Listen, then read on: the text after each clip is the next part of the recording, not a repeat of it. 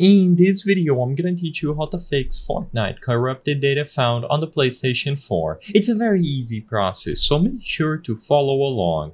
As the name of this error implies, usually this happens when you try to download Fortnite or even update the game and the files acquired were corrupted during installation. This could happen because of a variety of reasons, either problems with your storage or a not stable internet connection. So the easiest way to fix this by far is simply reinstalling Fortnite. So usually all that you would have to do is go over to where Fortnite is installed on your PlayStation 4, choose the options, and then select to uninstall the game completely. Afterwards, just go over to the PlayStation Store, reacquire the game if necessary, and start downloading it from scratch all over again.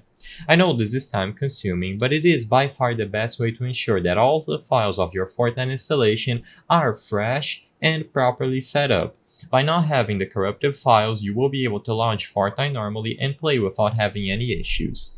Now, if you want to try some other alternative methods before reinstalling, maybe because you have a weak internet connection like I said, something else that you can try is to go over to your notifications on the home screen, choose the options, and then select downloads.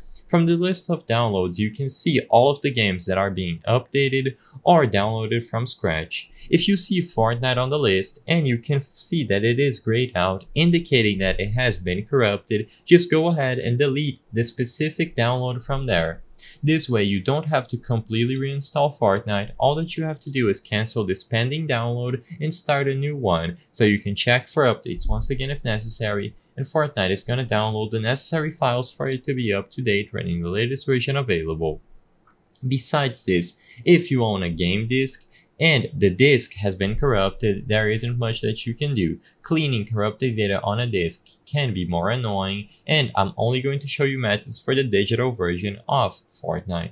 I hope I was able to help you on how to fix Fortnite corrupted data found on the PlayStation 4. If this video helped you, please be sure to leave a like and subscribe for more very easy tips. Thank you for watching.